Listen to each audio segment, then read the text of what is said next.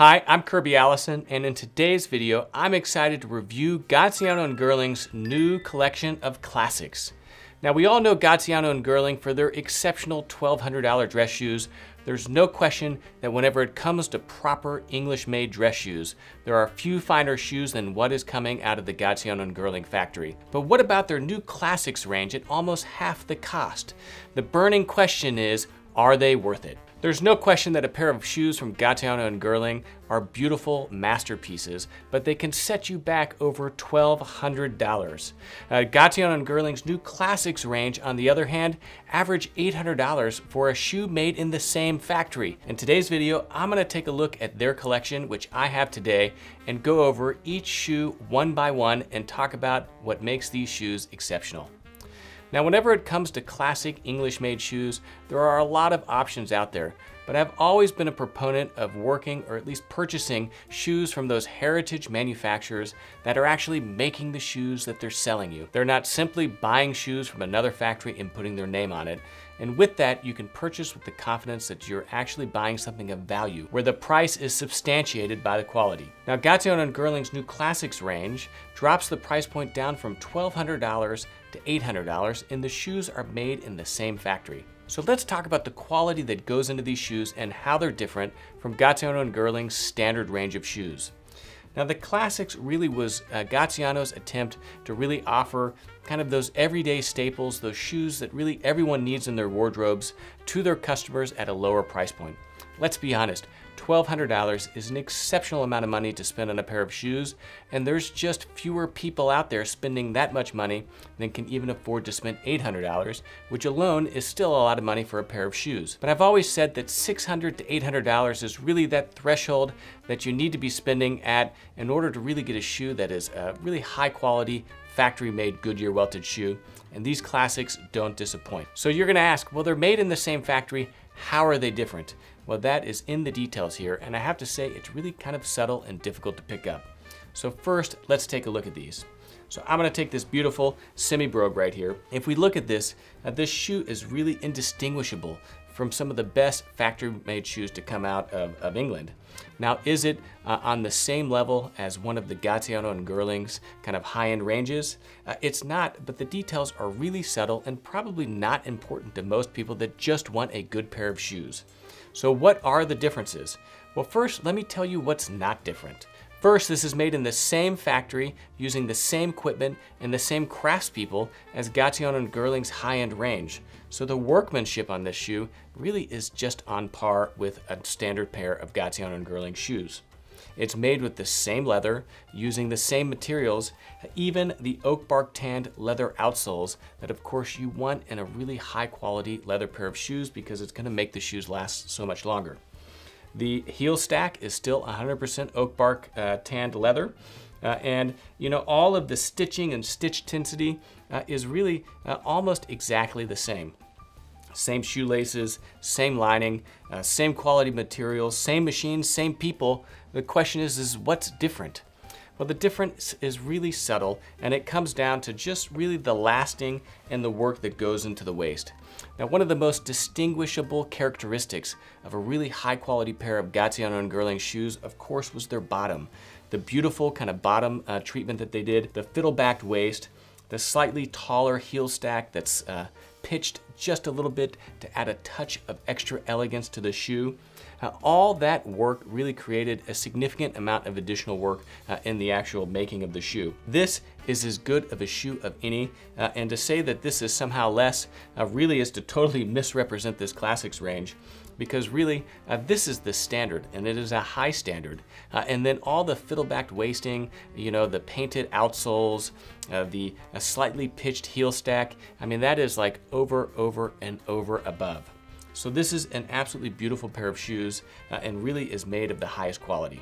Whenever I turn the shoe over and look at the outsole, it's absolutely beautifully finished. Uh, certainly uh, much significantly better than the majority of all factory made shoes out there. Uh, and it's hard to think of why you would want anything more than this. Now, another characteristic that I like that they've retained is they still have the invisible channel stitching, you know, right here, so you're not seeing uh, that Goodyear welt. You've got a little bit of nailing detail on the heel, uh, but otherwise, uh, this is just a really perfectly executed British shoe at the highest level. Another difference with the Classics range uh, is that it's really a stock range of shoes. One of the other benefits of Gaziano and Girlings is one, they have a huge range of shoes, most of which are made to order, uh, and they have an incredible patina service where you can have any of their shoes finished in any number of uh, patinas. With the Classics range, they're keeping it relatively simple. Uh, there are, really just uh, the black calf, uh, which is a uh, just a, a, factory dyed leather uh, that's done at the tannery. As far as available finishes for the Classics, that's really uh, been kept simple in order to keep the prices down. most shoes are available in two different finishes, either a black calf or some type of antique or marbled brown. And then we have these suedes, uh, and even these shoes right here are available in two different options. So the Gaziano and Girlings Classic range uh, really is their attempt to constrain themselves to a real stock program of shoes. These are available in stock uh, in sizes 6 to 12 only in these finishes. They can't be uh, made to order in any special finishes or patinas. But what does that allow you? It allows you to access a pair of Gaziano and Girling shoes for as little as $800, which as much as that is, I have to tell you, is a steal relative to the quality.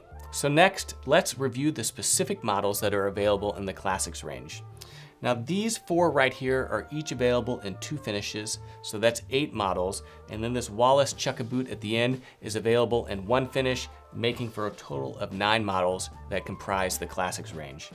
Now first up is a shoe that of course uh, you could imagine is uh, dear to my heart. Uh, it's a simple Churchill. This is what they call their Churchill. Uh, what is it? Uh, it is a black cap toe Oxford with a little bit of broguing across the toe cap. This is an absolutely beautifully executed shoe, and I have to say, I almost like this more than their standard Sinatra shoe, which is their black cap toe Oxford, because it has a little bit more detailing work kind of in the actual pattern working here, and I'll point that out to you. So this Churchill is only available in black, but it's available in two different lasts, which is actually a very interesting approach to a shoe like this. First, it is available in a round toe, which is the R18. I have this here but it's also available in an S45, which is a square toe. You see that reflected here in the double monk. So simple shoe, it's a classic. This should be a staple of any man's wardrobe, but we all have our different preference of round toe versus slightly square toe. So here in the classics range, you can have uh, either of those or you could have both. So again, let's look at this shoe right here. A beautiful proportion that you would expect from any shoe to come out of Gaziano and Girling. Of course, Tony is exceptionally well known uh, for his uh, skill as a designer, and he's making absolutely beautiful shoes. And you can see that this cap really has great proportion in it relative to the overall size of the shoe. It's got a beautiful kind of single row of stitching right here, some punching across the cap of the toe or some broguing, uh, and then it's uh, got pinking, which is the small triangulation indentions uh, at the edge of the pattern and then another very neat, very, uh, very uh, well done single row of stitching. Uh, here, kind of across the vamp, again, another detail. Two rows of stitching gives a little bit of visual separation between this pattern piece to the next.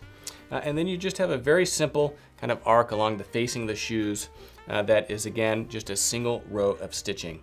Now, whenever you look at this stitching, look at how fine the stitch density is, how perfectly executed and parallel all the stitches are. Again, the workmanship here is the same quality that we've come to expect from Gaziano and Girling. Turning around the shoe, again, beautifully shaped heel. Uh, it has a seam in the back it's got a nice standard heel block.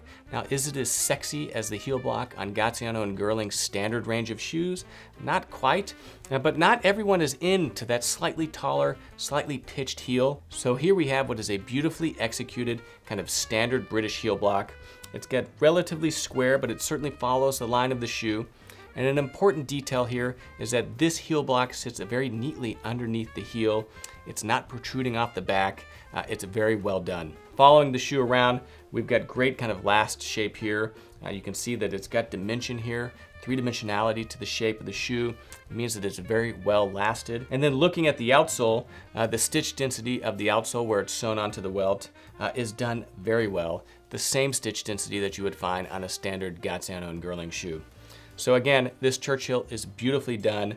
Uh, and you know, I have to say, uh, if I was just getting in uh, to building my shoe wardrobe, uh, this is probably exactly where I would go. $800, you're really not gonna find a better value out there than what you get in these classics range.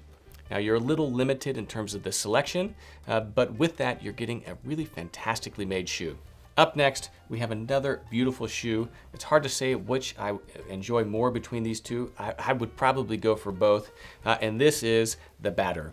Now this is a semi-brogue, slightly more decorative, less formal than this shoe, although traditional kind of American business culture uh, would associate all this broguing uh, on the toe cap and around the shoe as actually making it more formal but technically that's not the case. Uh, but this is beautifully executed. Again, look at the proportions of the cap.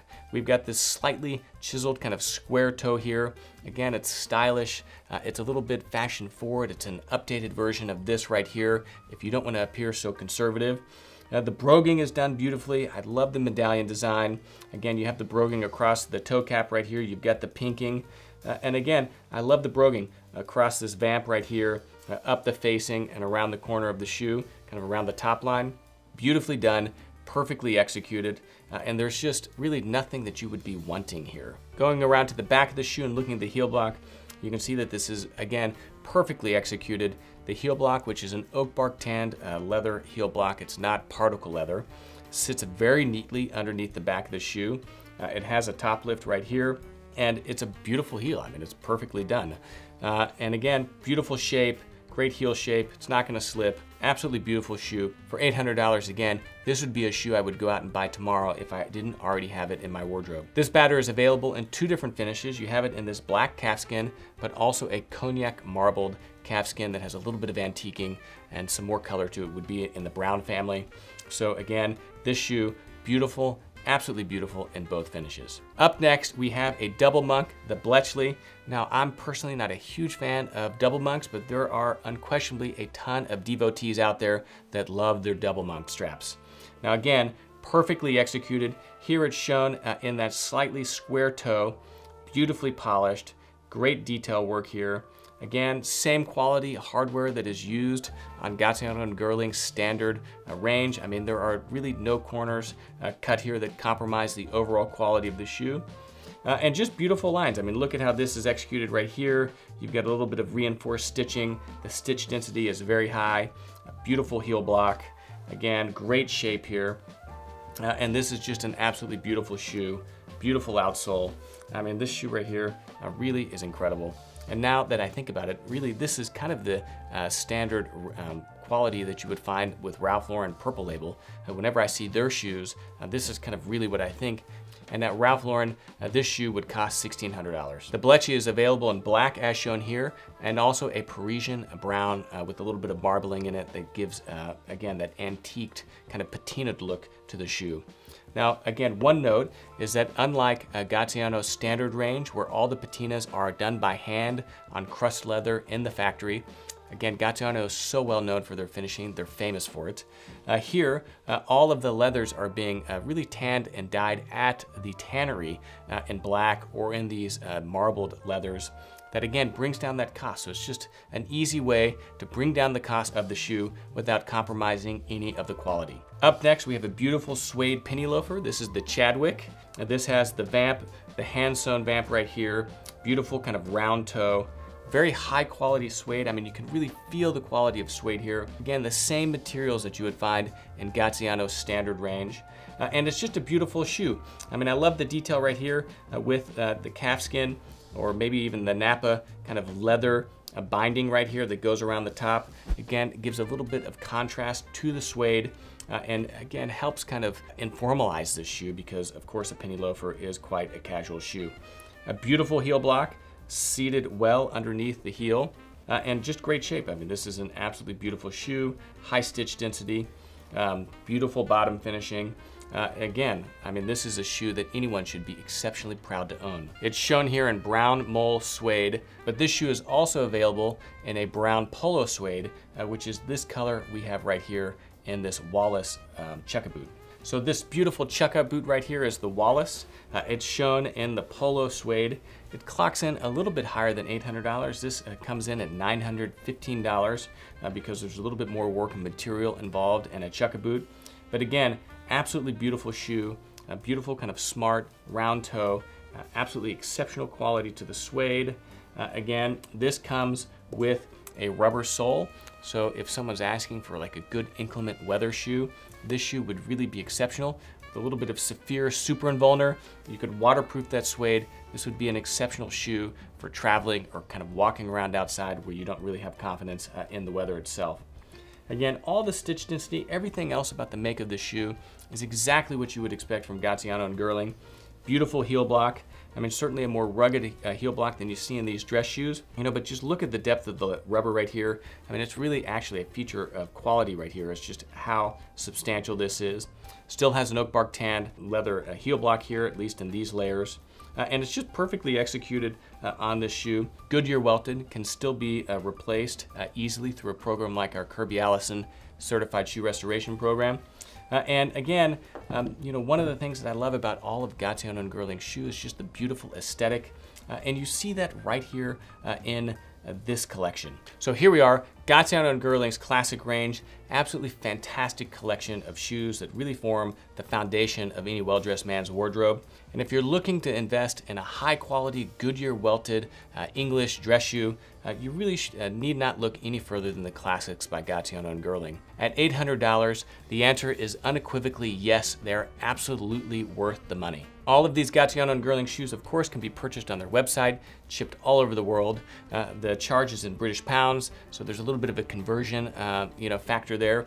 But generally at the time of filming this video, uh, these shoes right here were retailing for around $800 uh, and this Wallace right here at 915. The Classics collection is also available with shoe trees for a small additional cost. Let me know what you think of these classics in the comments below, and if you were to only acquire one of these shoes, which would be the one you would acquire. If you enjoyed this video, make sure you check out our factory tour from the Gaziano and Girling factory. We traveled with our crew there and got the grand tour. You can see exactly how these shoes are made in their renowned factory. Of course, I'm Kirby Allison, and I love to help the well-dressed acquire and care for their wardrobes while exploring the world of quality, craftsmanship, and tradition. Thanks for watching.